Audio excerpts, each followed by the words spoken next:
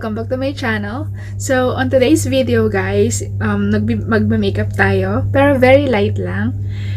And kasi actually gusto ko lang magbigay ng comment tungkol dito sa L'Oreal Infallible More Than Concealer, sabi niya. So, tingnan natin kung pwede natin siyang um, gawin as foundation. Kasi parang yung ano, yung Kiko. Ito. Yung uh, foundation ng Kiko Um, nakalagay dito 2-in-1 foundation and concealer. Kung napanood nyo yung graduation ko, yung graduation vlog, ito lang ginamit ko, hindi na ako nag-concealer. Plus, yun lang. Tapos yung press powder ko na Max Factor. That's it. So, this time around, susubukan natin yung sinasabi na more than concealer. So, dito sa ating camera, um, alam niyo naman guys, ang camera ng Samsung, di ba? Napaka talagang eh, parang super duper ano. Hindi ka pa gumagamit ng filter pero parang naka-filter na. So, ako, uh, meron akong, may konti akong under eye. Kita pa rin naman, di ba? Dito. May konti akong, I mean, konting under eye. Meron akong konting black under eye. So, ito try natin siya. Naglagay na ako ng uh, primer at ang ginamit ko yung Autograph Illuminating Primer. So, this is from Marks and Spencer. Okay. So, yun yung ginamit ko. So, tatry na natin to ngayon. Sabi, Infallible More Than Concealer. So, let's see. Ang shade ko pala dito ay Biscuit 328. By the way, yung wand niya, mataba, pareho nung Kiko, Kiko Foundation. So, kung hindi pa kayo, kung hindi nyo masyadong natitigan yung Kiko Foundation, pwede rin natin siya i-try dito sa kabilang side. Tapos, etong concealer dito. So, sa, nag, ano na ako guys ha, nag, um, primer. So, pag concealer guys, di ba ganyan? Kung ano yung nasa wand, yun yung gagamitin natin. Tapos, eto, meron akong konting tatakpan dyan. Let's see kung magkakaroon ng coverage. Yan. Ang ano ko lang dito, para siyang quick dry.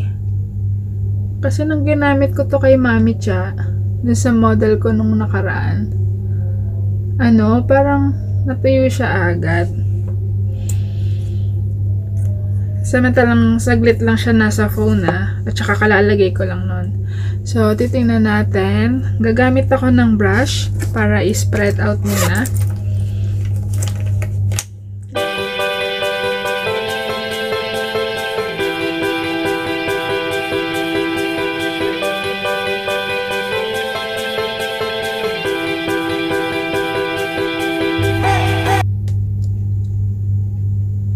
So, nagkaroon nga siya ng more than concealer nga siya, guys. Kasi kahit pa paano nagkaroon ng coverage yun dito ko. ba? Diba?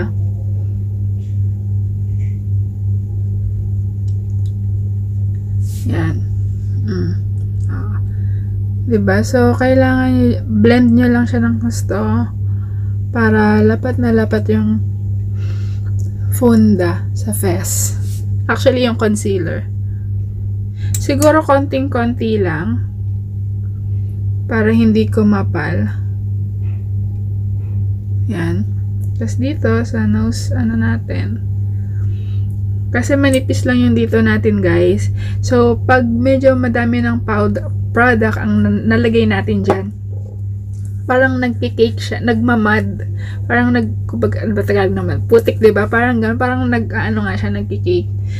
So, using our brush ulit, para may spread lang siya ng maayos kaysa i-sponge natin agad tapos dun lang sa part na yan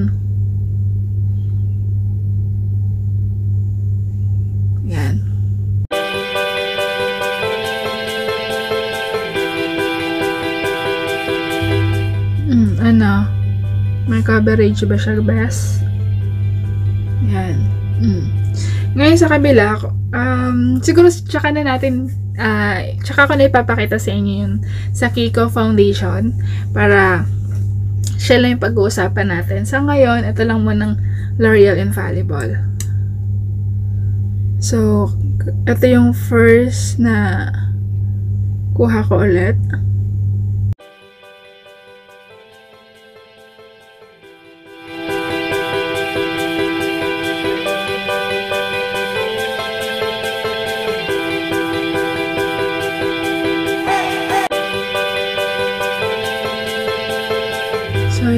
So, anong napansin niya? 'Di ba nagkaroon naman tayo ng coverage at saka maganda yung ano niya. Actually, uh, medyo hindi naman niya sinabi kung matte finish.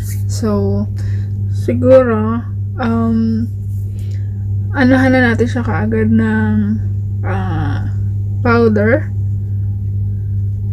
Maglagay na tayo agad ng powder. Let's say hindi kayo magbe-bake, 'di ba? At press powder lang or um, siguro pwede na din yung ano, Johnson's powder. So, gagamitin natin yung aking MAC. Max Factor, hindi pala MAC.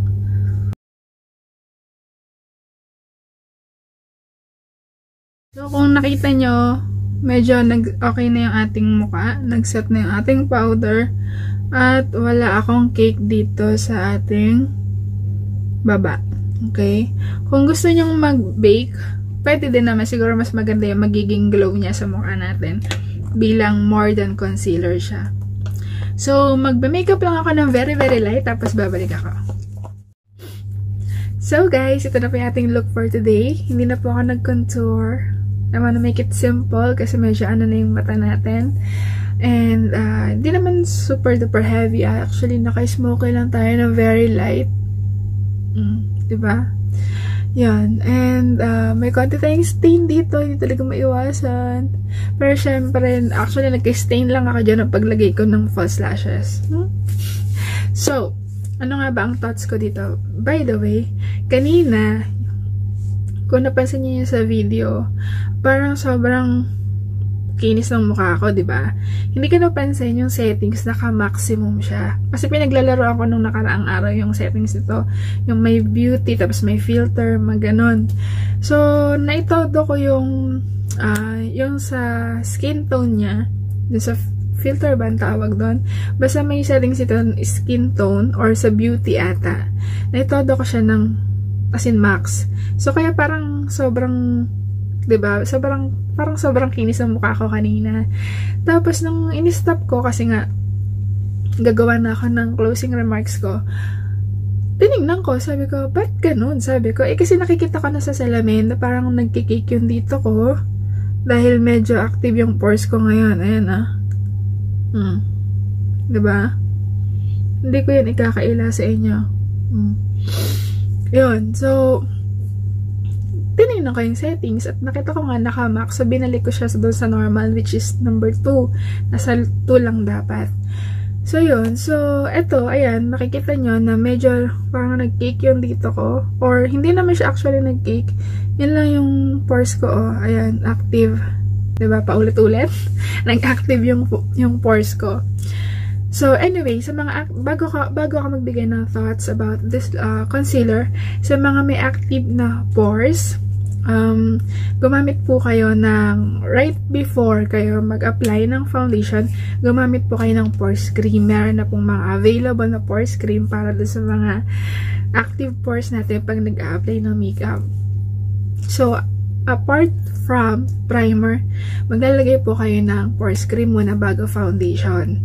Yun po ang ano niya. Yung pores cream na yun, yun yung mag-feel talaga ng mga pores part natin para pag nilapat yung foundation, dapat talaga. Parang ganon. So, may mga brands na parang pores cream na siya at the same time like Maybelline instant pore eraser pero at the same time primer na din siya ba? Lightweight primer tapos instant pore eraser, instant pore eraser. Tapos meron namang iba, primer lang siya, like this one, illuminate, illuminating primer, medyo glossy siya, which is yung nauso ngayon. Pero hindi sinabing pore cream siya, ba? So 'yun. So kung halimbawa maka Siguro ako, kasi medyo paubos na din tong mga primer ko. Ito na lang ulit yung bibilin ko. Kasi so, aside sa sobrang smooth ng texture niya, pag, na, pag nag-set na siya sa mukha, magandang, maganda siyang laparan ng foundation. I swear. So, dito na tayo sa L'Oreal Infallible Infile infallible more than concealer. So, nakita nyo kanina, nilagay ko dito, nirekta ko, tapos brush ko, tapos tsaka ako nag-blend. So, okay naman siya sa unang apply pa lang. Nagkaroon na tayo ng coverage. Hmm. Dito sa part na to, ito, pag wala akong uh, anything sa buka, may makikita kayo dito, di ba? Mga marks. Pero hindi naman siya yung parang um, malalim or ano. Nasa loob siya ng skin actually. So, nagkaroon ng coverage pati dito. Yan. Sa unang apply. Tapos, dinagdagan ko siya dito ng konti. Kaya siguro nag-cake din kasi medyo makapal, makapal yung texture ng concealer. Kung makikita nyo. Ayan. Kung makikita nyo, makapal yung uh, texture ng liquid. Ng concealer. Yung pagka-liquid niya makapal. Ganon. So, okay naman siya. So, siguro nga, one apply is enough. Tapos, maglagay na kayo ng powder or i-bake nyo na lang dito para mag-add mag siya ng, ng glow or brightening dito sa part na to. So, hindi na kailangan doblehin. ba diba? Ganon. Tapos yun, so concealer, kung concealer lang i-apply nyo, maglagay pa rin kayo ng primer. Tapos dito, tapos spread nyo. Tapos, tapos, uh, blending sponge. Yun na yung, pag naset nyo na yung dito nyo, itong part na to, tsaka nyo i-ano yung blending sponge. Para kunwari, parang, parang natural lang yung sa part na to. Diba? Mm. So, yun lang guys. So, I think that would be all for today. Thank you so much for watching. Please don't forget to like and share and to subscribe. Thank you and God bless. I'll see you in my next vlog.